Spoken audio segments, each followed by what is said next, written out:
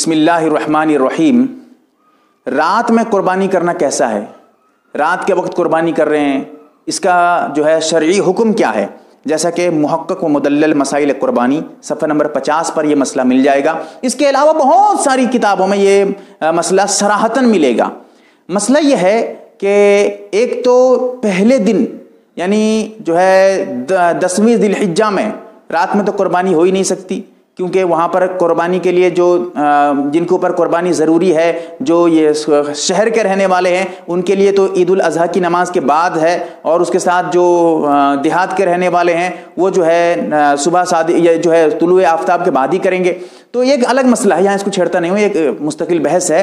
तो पहले दिन तो रात में सवाल पैदा ही नहीं होता है, रात में कुर्बानी करने का।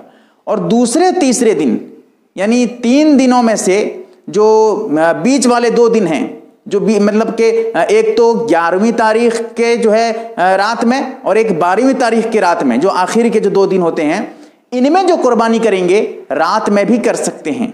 अगर ज़रूरी है कि लाइट का इंतज़ाम हो, अगर लाइट का इंतज़ाम नहीं, अंधेरे में ज़िबा कर रहे हैं, हो सकता है कि कोई ऐसी गलती कर दें कि जिससे कुर्बानी ही हराम हो जाए आपके लिए, गोश्त ही आपके लिए हराम हो जाए, कुर्बानी न हो।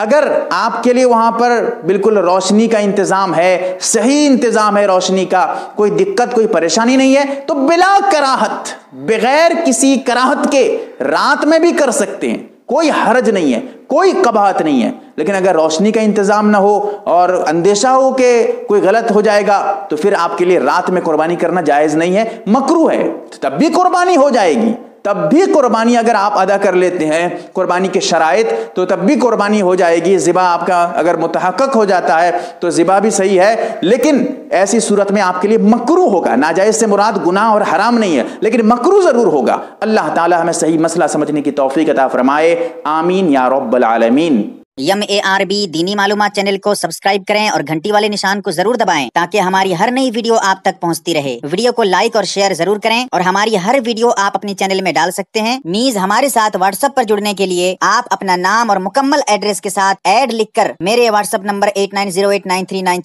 को मैसेज करें।